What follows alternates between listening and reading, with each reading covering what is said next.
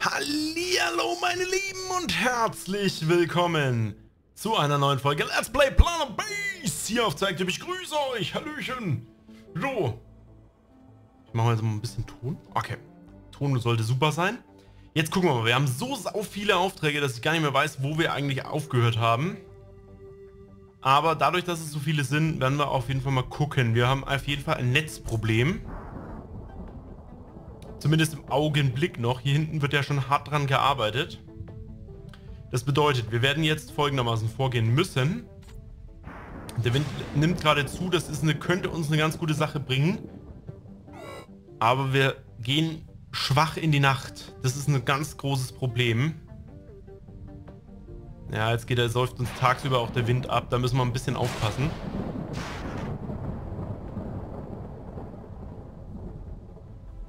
Na, viel kommt da nicht rein.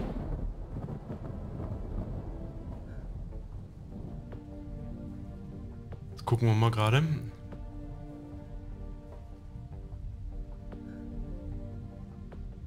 Wir machen Plus.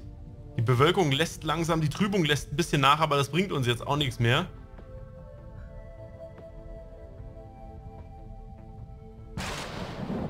Ich hoffe, dass da noch ein Blitzeinschlag kommt. Zumindest ein richtiger Blitzeinschlag.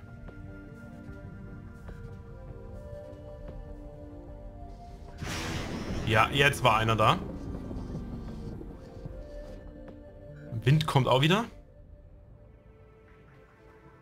Aber halt viel zu wenig, ne? Viel, viel zu wenig. Die Nacht ist noch nicht mit dem Ansatz vorbei.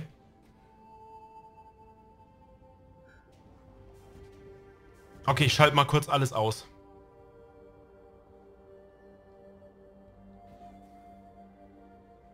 Wir produzieren wieder ein bisschen. Wie schaut es hier hinten aus? Zwei große Windturbinen, die allerdings noch nicht weiterkommen. Okay, ich schau mal, was das Netz gerade sagt. Das Netz sagt, es baut sich gerade so ein bisschen auf. Wir müssen aufpassen, dass unsere Leute auch Schlaf und vor allen Dingen Wasser bekommen. Also ein bisschen darauf achten. Aber ihr seht schon, selbst jetzt reicht noch nicht aus, um uns äh, stabil aufzupumpen. Schwierige Lage ist es hier. Das ist gerade ganz konfus. Okay, wir machen Plus. Wenigstens füllen wir die Speicher auf. Das ist schon mal eine super Sache. Guck mal, der Wind kommt gerade voll rein.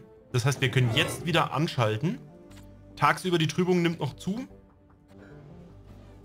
Wir haben ein leicht schwächelndes Netz aktuell. Aber die Leute, die trinken müssen, die können wenigstens trinken. Das ist schon mal eine gute Sache, auch wenn das Netz immer noch nicht ausreicht. Gucken wir mal gerade hier, haben wir eine Förderung gerade drin. Und pumpen uns Erze her. Die auch hoffentlich bald weiterverarbeitet werden. Am Trinkspeicher wird es auch gut. Hier unten fehlen uns auch alles Metall. Okay. Metall sollte hier auch... Jawohl, so will... Oh, zweimal rein. Wunderschön. Gucken wir mal schnell, was das Speicher hierher gibt. Oh, supi. Okay. Das heißt, jetzt sollten alle Generatoren hier aufarbeiten und das alles locker flockig hinbekommen. Hier unten haben wir noch ein bisschen Mangel und unser Lager ist fast voll. Ich würde vorschlagen, wir machen jetzt mal folgendes. Wir holen uns mal einen Händler her. Ein Händler ist, glaube ich, keine schlechte Idee. Da könnten wir vielleicht auch Sachen bekommen, die wir so nicht kriegen würden. Beispielsweise wir tauschen irgendwas ein gegen eben Metall, was wir halt gerade hauptsächlich brauchen. Schaut es mit den Medikamenten aus? Da haben wir gerade gar nichts da. Das ist Bioplastikproblem. Okay. Aber das sollte man auch in den Griff bekommen. Gut, lassen wir das alles mal ein bisschen hinlaufen. So, hier kann gegessen werden. Das ist auch schön. Ist maximale Einheiten. Okay. Lass mal ganz kurz gucken. Biodom, das sind alles Planungen, die noch laufen. Wichtig ist halt, dass das hier läuft. Okay, und das sollten wir jetzt auch immer weiter Stück für Stück aufbauen. Das soll wir, ich bin, bin mir noch nicht so ganz sicher, wie wir das am einfachsten hinbekommen sollen. Ähm, aber ich habe so die Hoffnung, dass das jetzt mit einem Händler ganz gut hinhaut. Weil hier wird ja auch fleißig eingelagert, das ist ja auch der Sinn und Zweck der ganzen Geschichte. Hier unten hatten wir, glaube ich, auch die Idee nach dem Labor Sauerstoff, Schlafsaal, Fabrik, genau. Und dann, glaube ich, kommt hier irgendwo genau die Robotikeinrichtung und da ist ein Händler. So, was hat der? Der hat ein mega großes Lager in Verfügung. Ein Bohrbot, damit hätte man natürlich auch jetzt erstmal ein bisschen mehr Luft. Ein Baubot wäre auch was Feines, aber ein Bohrbot interessiert mich gerade mehr. Und diese fünfmal würden mich auch noch interessieren. Was können wir dem geben, damit wir das erfüllen können? Wir könnten Heilpflanzen tauschen. Aber auch dann würden wir nicht hinkommen. Wenn wir den jetzt rausnehmen, bräuchten wir nicht so viele Heilpflanzen. Dann könnten wir sogar mit ein bisschen Kohle noch arbeiten. Machen wir mal. Elf Heilpflanzen kriegt er.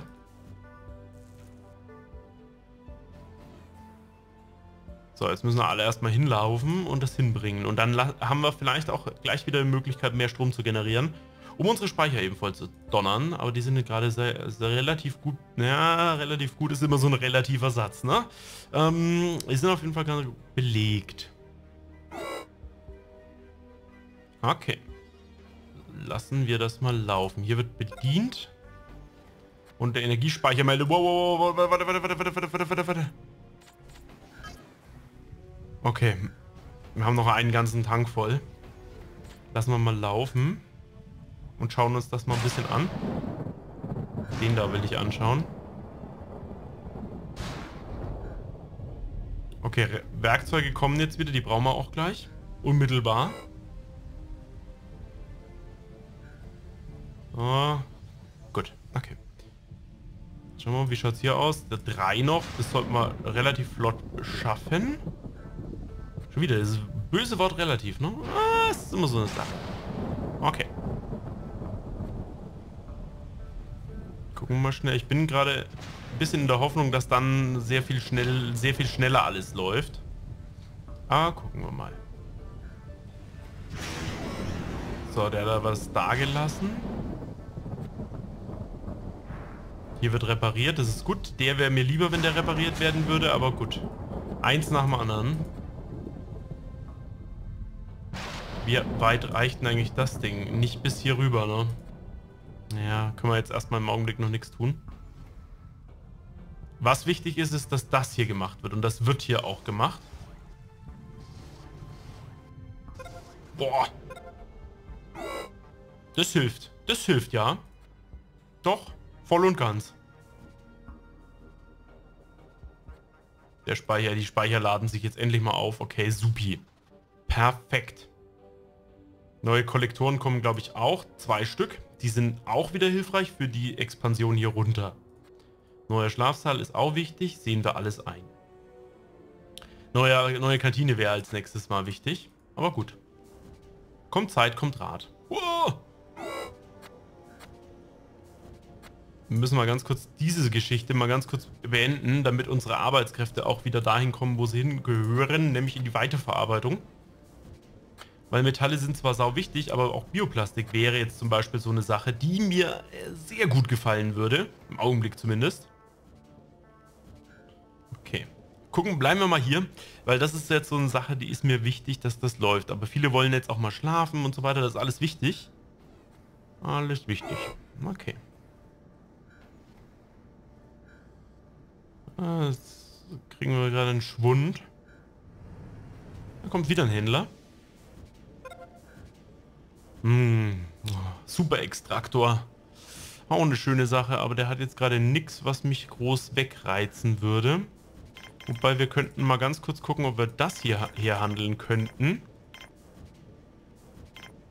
Dann könnten wir sogar noch ein bisschen Geld einnehmen. Okay. Weil auch das Bioplastik ja eine feine Sache ist. Da ist nichts verfügbar und wir bräuchten aber dringend was für die weitere Produktion hier.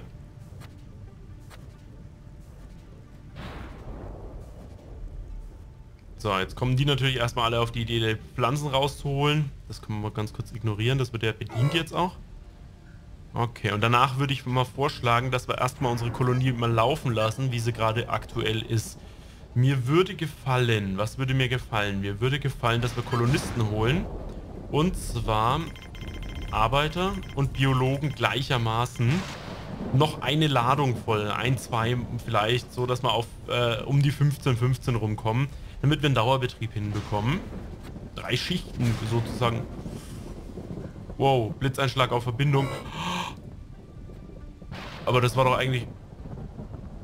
Ist da jemand drin?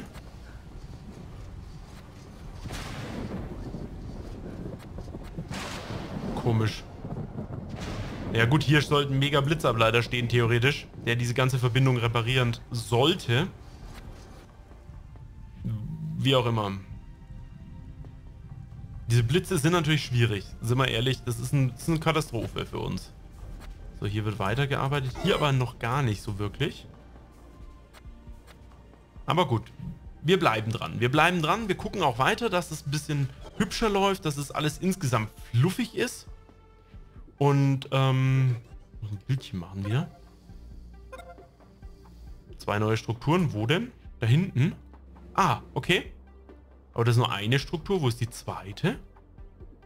War das der Sauerstoffgenerator? Nö, ne? Vielleicht, ach doch, die Anbindung dazu. Okay. So, hier kommen wieder neue Sachen. Und jetzt gucken wir mal schnell, wie, wie viel kommt da? Einer. Naja, gut.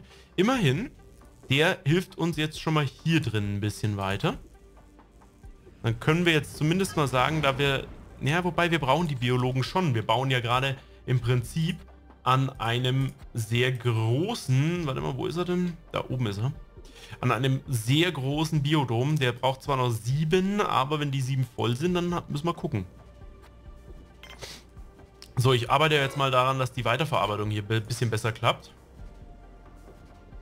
Weil wir uns gehen gerade die Ersatzteile ein bisschen baden. Und ich glaube, hier haben wir gerade keine drin. Und ich finde es wichtig, dass hier mal ein bisschen auch die Leute hier rauskommen. Weil so viele, die sich ein Bein brechen, ist immer eine blöde Sache. War noch nie gut für unser Gemüt. Jawohl, so will ich das. Gucken wir schnell. Einer frei. Hier ist auch nochmal eins frei. Ja, das sollte, sollte besser werden. Jetzt klappt auch die Produktion hier mal ein bisschen.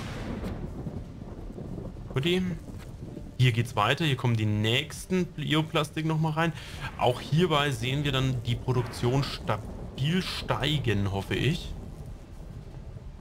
Denn wir brauchen das jetzt gerade wohl ganz arg, weil hier, ihr seht schon, hier ist auch anständig ist halt nicht mehr supi und damit auch nicht mehr so der, der Pump, der da normalerweise auch da sein sollte. Und mir ist wichtig, dass hier vor allen Dingen auch mal Bioplastik landet und das schaffen wir halt auch nur, wenn die Produktion stetig am Laufen ist. Da wir genug ähm, Stärke auch im Lager haben, sollte das für uns jetzt in dem Sinne erstmal kein Problem sein. So. Gucken wir mal, läuft. Okay, das läuft auch soweit alles ganz gut. Jetzt muss ich mal ganz, ganz kurz schauen. Das sollte jeweils soweit eigentlich eine gute Sache sein. Hm, jetzt fehlt uns hier ein bisschen die Versorgung. Aber die kommt schon. Insgesamt ist hier die, die Leute nicht so ganz moralisch gut dabei. Hm, Bioplastik wandert hauptsächlich halt hier runter in die Produktion, was mir jetzt erstmal nicht wehtut. Denn auch da brauchen wir natürlich mehr Nachschub. Aber wenn das schnell geht, sollten die auch genug ab, ähm, wieder rausbekommen, um die Dinger hier zu versorgen. Gucken wir schnell. Ja, wird gleich fertig. Gucken wir mal schnell. Haben wir irgendwo ein Doktors? Na, der läuft. Wo läuft denn der damit hin? Wahrscheinlich nach draußen. Irgendwo fehlt da wahrscheinlich ein Bioplastik oder sowas. Wo willst du damit hin? Ah, hier runter, okay. Ja, die liefern hier halt auch schon Bioplastik ohne Ende an. Kein Wunder, dass wir nichts mehr haben, ne? Okay, also wir müssen die Produktion erstmal weiterlaufen lassen damit das auch sauber verarbeitet werden kann. Aber sollte im Großen und Ganzen, sollte das eigentlich soweit gut laufen. Schau die Produktion aus, wir produzieren so viel Energie gerade. So, und hier die Schlafen, äh, Schlafbereich ist halt auch schon knallevoll, ne? Also ist jetzt bis zwei Betten sind noch frei, dann ist da belegt. Okay.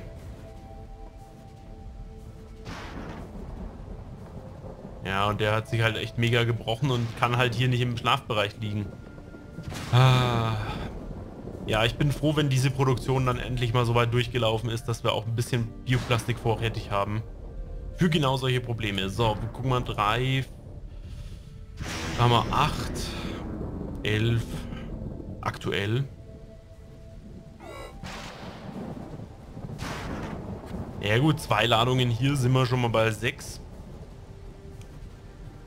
Zwei komplette Durchläufe hier jeweils, dann haben wir schon eins plus. Aber abgesehen davon wird hier natürlich auch nochmal Werkzeug benötigt. Also ganz so geht die Rechnung natürlich jetzt nicht auf. Ja, okay. Gucken wir mal schnell. Hier oben laufen sie auch wieder außen rum. Das ist ein bisschen doof, dass wir hier unten keinen Ausgang haben, beziehungsweise noch keinen Ausgang. Hier würde ich ganz gerne dann mal einen hinsetzen, einfach damit wir mehr Möglichkeiten auch haben. Weil die müssen jetzt immer über diese Bergsteige hier rüber. Oh, der, der große Biodrom wird demnächst betriebsbereit. Da freue ich mich sehr drauf, denn das bringt uns auf jeden Fall sehr, sehr viel Weizen für diese Produktion hier, weil wir haben wahnsinnig viel Rindfleisch und ähm, uns geht eigentlich ein bisschen Weizen aus. Und solange hier noch so, eine, so ein mega Bedarf ist... Oh, da kommt die Kuppel.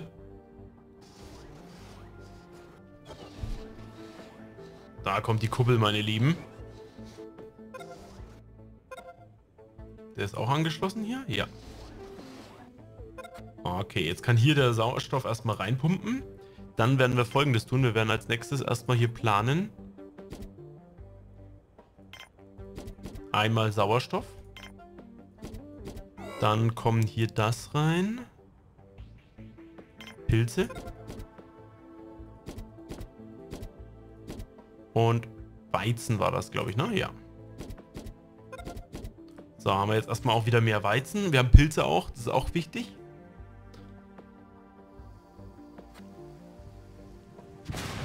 Gut, lassen wir mal so laufen. Abgedeckt sollte es ja eigentlich sein. Wenn das steht, auf jeden Fall.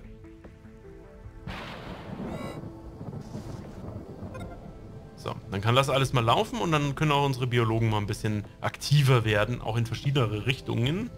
Das ist, glaube ich, eine ganz feine Sache. So, wie schaut es mit Bioplastik aus? Wird weiterhin super, super, super gemacht. Aber uns wird auch mal ein bisschen mehr Metall noch nachgefördert.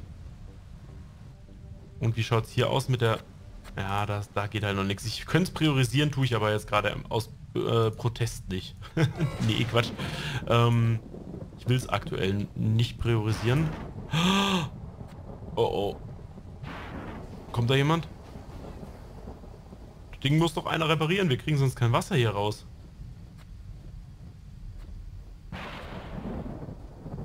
Schaut ein bisschen. Ja, die Schlafgelegenheiten sind natürlich nicht optimal. Aber ist besser als nichts. Hier wird immer weiter aufgebaut. Gut.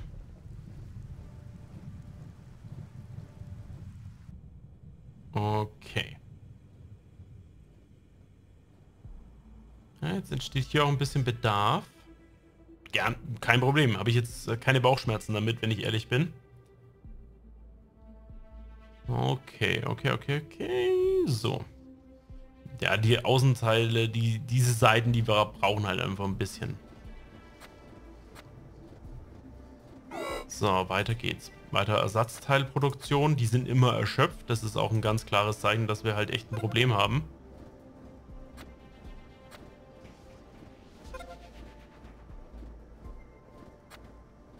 So. Ja, auch Wasser hier. Das ist alles so ein bisschen blöd, ne? Also wir haben einfach zu wenig Versorgung für die. Mit der einen Kantine, die kommt gerade so hin, aber viel Essen bleibt da halt auch nicht. Hast da wenigstens mal was Gutes zu essen, auch ein bisschen vorrätig. Das ist sehr schön. Ja, und hier kommt das auch alles nach und nach. So, hier wird auch mal ausgelagert. Das ist auch mal eine feine Sache, dass wir mal den ganzen Stärke Gedönse weg, wegarbeiten können. Wir haben noch 20 im, im Lager, das ist okay. Aber da sollten wir natürlich auch nachproduziert bekommen. Wie war es mit den Pilzen eigentlich? Die produzieren sehr gut, okay. Wer kommt denn da eigentlich? Wieder ein Biologe. Das ist Baumerhalter tatsächlich auch gerade. Zumindest solange wir noch knapp sind. Und die Kantine, die wird uns helfen. Aber halt auch erst, wenn sie fertig ist. Wir haben aktuell draußen 35, 36 Bioplastik rumgammeln. Ich bin mal da ganz kurz der Überlegung, was ist denn, wie lange hält denn das da eigentlich? Das hält da ewig, solange das da liegt, ne? Ja. Na, hier ist schon ein bisschen abgearbeitet. Okay, ja, da müssen wir aufpassen, dass die Bauaufträge nicht 100 Jahre dauern. Ja, okay. Kommt Strom rein.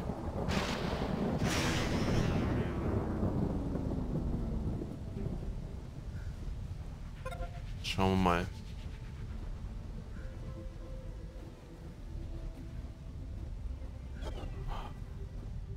Mit Blitzeinschlägen, das ist schon aber schon ganz schön hart.